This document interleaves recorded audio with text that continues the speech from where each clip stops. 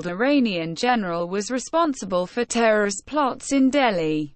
Trump stating that Iranian General Qasem Soleimani, who was killed in a U.S. strike in Baghdad, made the death of innocent people his sick passion.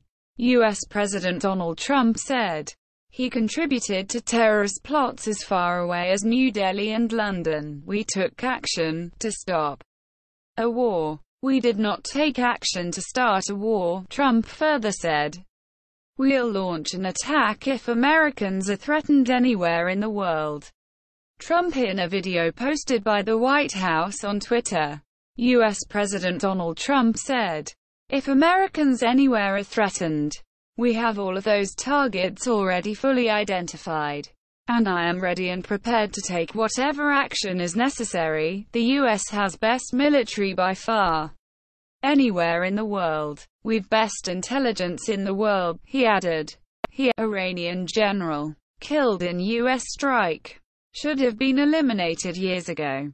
Trump U.S. President Donald Trump in a tweet said that Iranian General Qasem Soleimani, who was killed in a U.S. airstrike in Baghdad, should have been eliminated many years ago. While Iran will never be able to properly admit it, Soleimani was both hated and feared within the country, he added.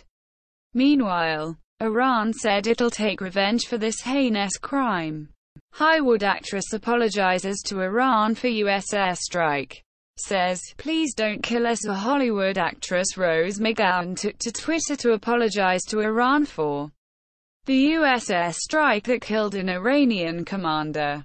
Dear Iran. 52% of us humbly apologize. We want peace with your nation, please do not kill us, she wrote. Okay. So I freaked out because we may have any impending war. Sometimes it's okay to freak out, she later tweeted. Peace most important. India after Iran warns of revenge on U.S. for Soleimani death after a U.S. airstrike in Baghdad killed Iranian Major General Qasem Soleimani. India advocated for restraint and said it's vital that the situation doesn't escalate further.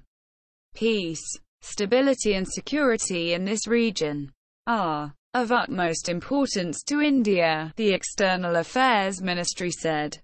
Iran's supreme leader Ayatollah Ali Khamenei warned that a harsh retaliation is waiting for the U.S.